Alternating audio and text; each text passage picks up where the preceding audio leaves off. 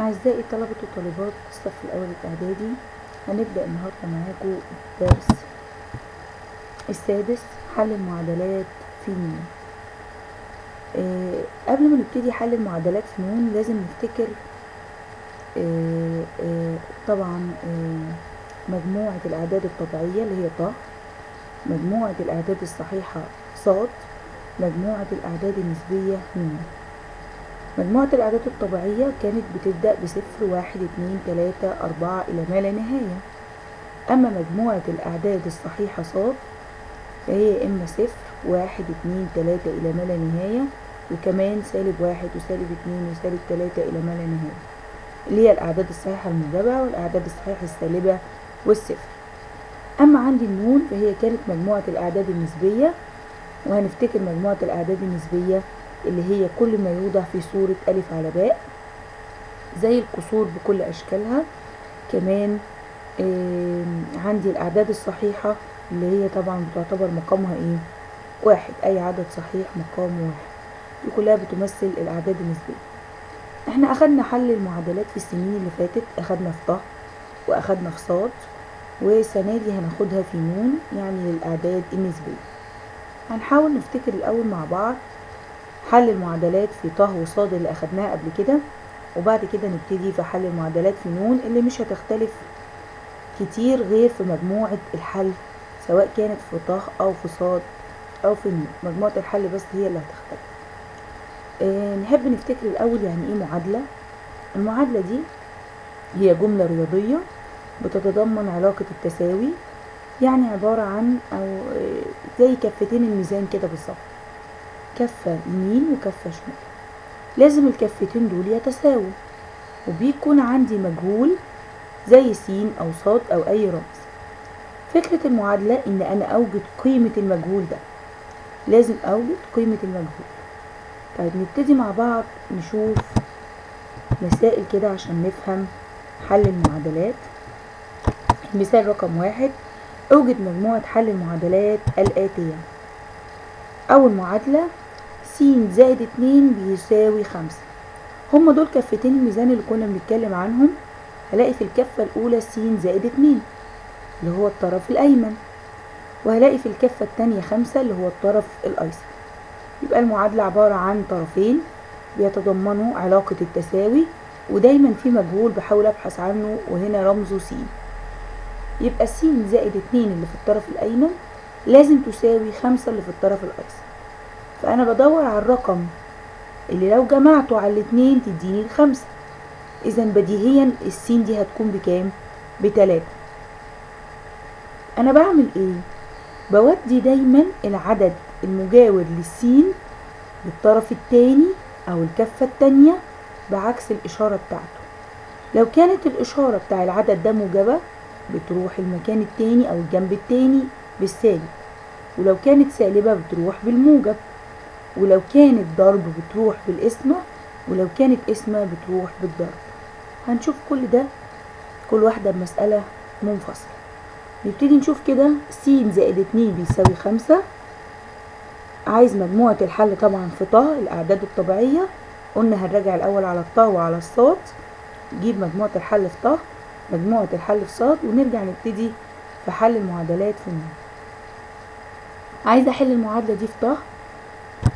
طبعا هقول له س بتساوي خمسة ناقص اتنين لأن الاتنين دي هتروح الجنب التاني من. من اليمين من الطرف اليمين إلى الطرف ال... ال...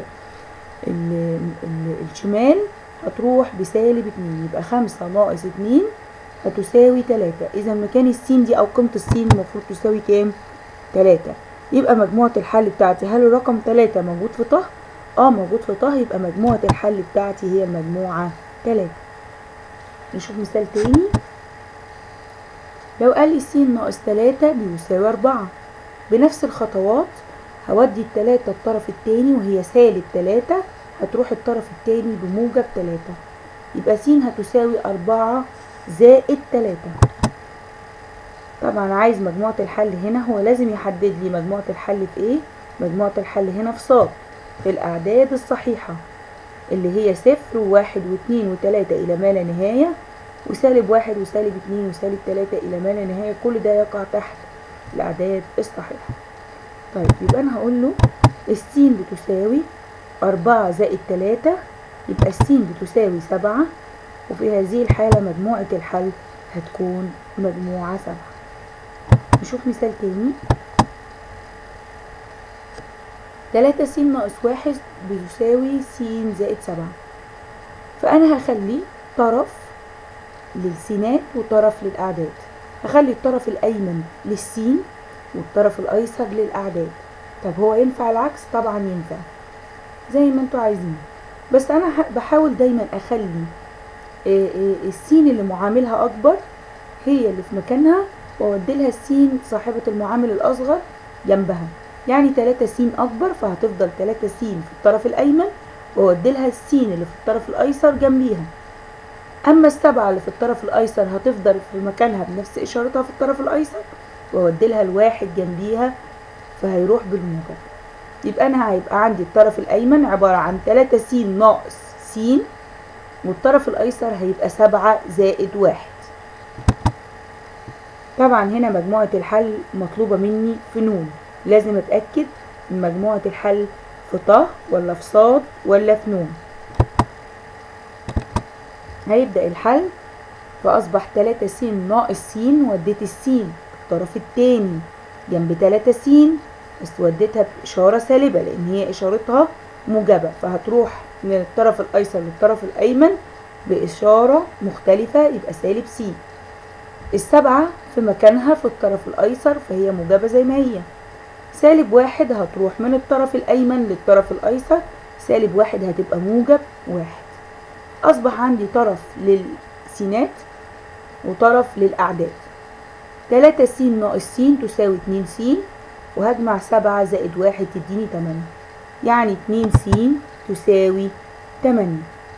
طيب وأنا عايزة أتخلص من الاتنين المضروبة في السين لأن أنا المفروض أجيب قيمة المجهول س مفيش قدامه أي عدد. لأن إحنا قلنا كلمة حل المعادلة أوجد قيمة المجهول اللي هو س أو صاد أو عين أو الرمز الموجود عندي.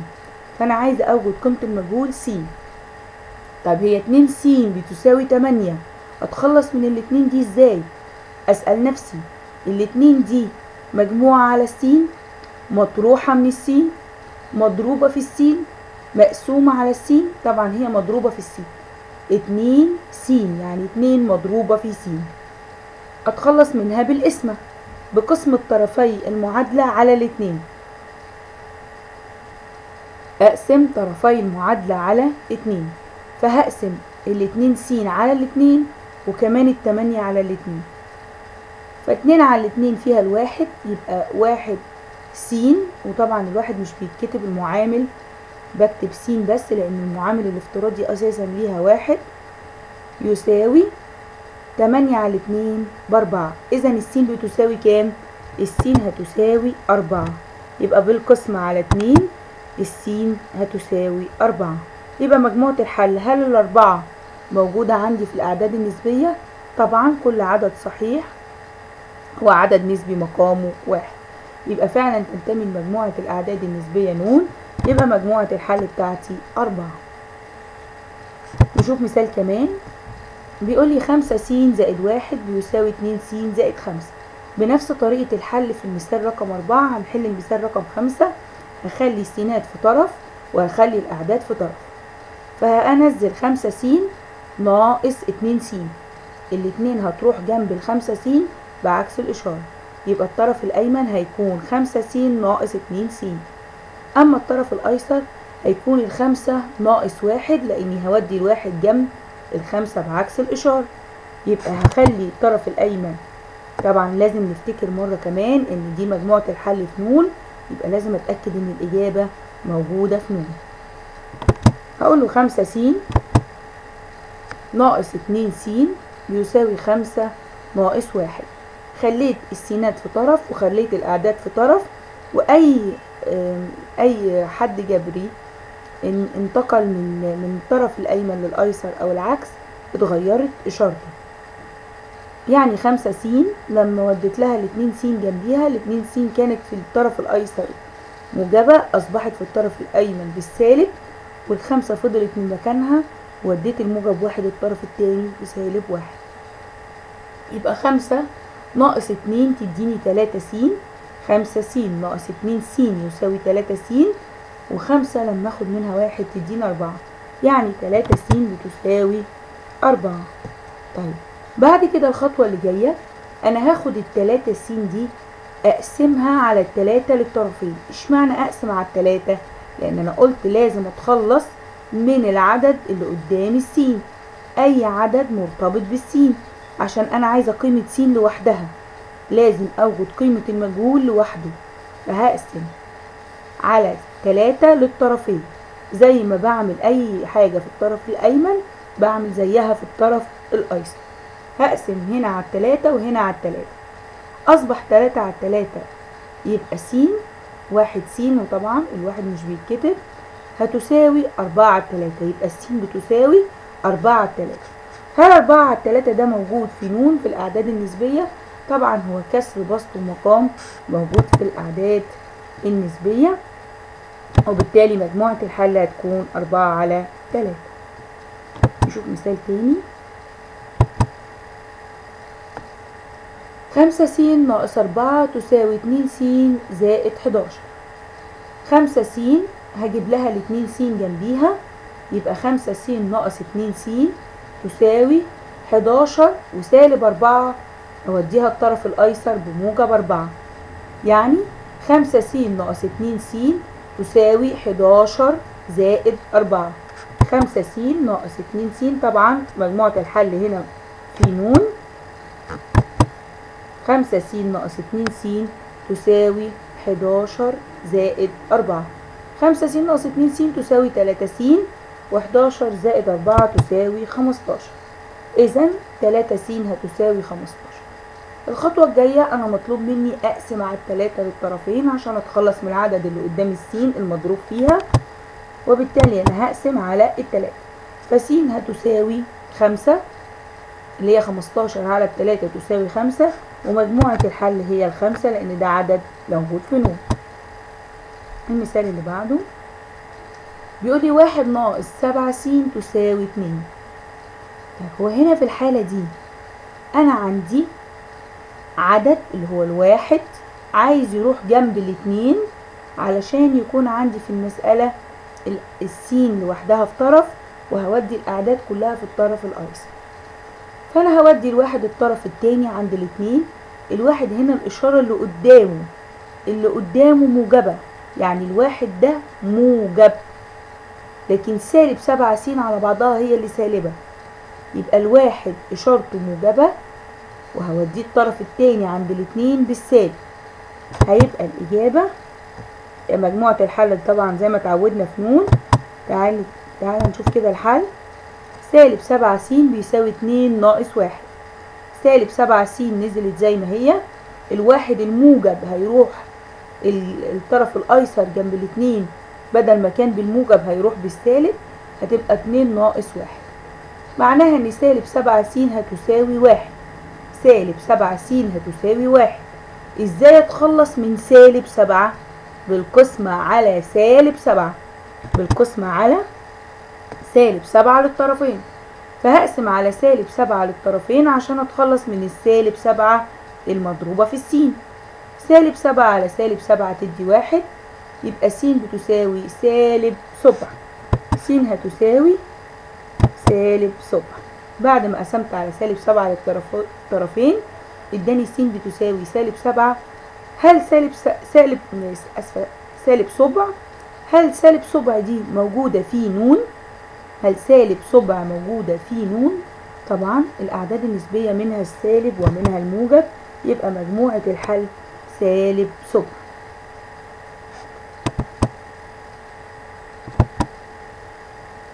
المثال اللي بعده تلاتة وفتح قوس وكتب س زائد اتنين وقفل القوس وبيساوي تسعتاشر. في الحالة دي أنا أعمل إيه في التلاتة اللي مضروبة في القوس ده؟ أضربها فعليا في كل القوس. أضربها في الحد الأول اللي هو السين وفي الحد التاني اللي هو الاتنين. يبقى التلاتة دي مطلوب إنها تتضرب مرة في السين ومرة في الاتنين. هضرب تلاتة في س بتلاتة س وهضرب تلاتة في اتنين بستة. يبقى تلاتة س زائد ستة هتساوي تسعتاشر. يبقى أنا ضربت التلاتة مرة في السين. مجموعة الحل بتاعتي في ن ضربت التلاتة مرة في السين ومرة في الاتنين. تلاتة في س بتلاتة س تلاتة في اتنين بستة يساوي تسعتاشر. هبتدي أودي الستة الطرف التاني عند التسعتاشر بإشارة سالبة. يبقى التلاتة س بتساوي تسعتاشر ناقص ستة. تلاتة س تساوي تسعتاشر ناقص ستة. الستة دي عدد عدد حر مطلق مفيش جنبه أي رمز. هيروح الطرف التاني عند العدد اللي شبهه فهتبقى بس طبعا بإشارة مختلفة الستة هنا كانت موجبة هتروح عند التسعتاشر بس هتروح بالسالب. يبقى تلاتة س بتساوي تسعتاشر ناقص ستة. طيب. تلاتة س بتساوي أطرح تسعتاشر ناقص ستة تديني تلاتاشر. بقسمة كل منهما على التلاتة. اشمعنى تلاتة؟ عشان أتخلص من معامل السين. أتخلص من العدد المضروب في السين اللي هو تلاتة. فهقسم الطرفين على تلاتة. أصبحت س بتساوي تلاتاشر على التلاتة. س تساوي تلاتاشر على التلاتة. هل تلاتاشر على التلاتة ده كسر موجود في نون؟ هل هو عدد نسبي؟ طبعا عدد نسبي. في مجموعة الحل هتكون 13 على التلاتة. نشوف المثال اللي بعده. خمسة على ستة س تساوي آه خمسة على ستة س ناقص أربعة تساوي حداشر. طيب جميل. برضو الأربعة سالب أربعة ده عدد حر مطلق مش جنبيه أي رمز. سهل جدا إنه يروح للطرف الأيسر بعكس الإشارة. فهيبقى خمسة على ستة س بتساوي حداشر زائد أربعة يبقى خمسة على ستة س تساوي خمستاشر طيب يا ترى بعد ما وصلت للإجابة دي اللي هي خمسة على ستة س بتساوي خمستاشر أعمل إيه؟ أبتدي أقس أضرب في المعكوس الضربي أي كسر عايزة أتخلص منه أضرب في المعكوس الضربي له عشان العدد في معكوسه الضربي إحنا اتعلمنا بيدي كام؟ بيدي واحد. العدد في معكوسه الضربي يساوي واحد. فأنا ضربت خمسة على ستة. س اللي بتساوي خمستاشر. ضربت الطرف الأيمن والطرف الأيسر في ستة على خمسة. إيه هي ستة على خمسة؟ هي المعكوس الضربي لخمسة على ستة. إشمعنى ضربت في المعكوس الضربي؟ عشان العدد في معكوسه الضربي يساوي واحد. وأنا عايزة السين يكون معاملها واحد يعني مش قدامها أي عدد. يبقى أنا عايزة أتخلص من خمسة على ستة أتخلص منها إزاي؟ بالضرب في المعكوس الضربي.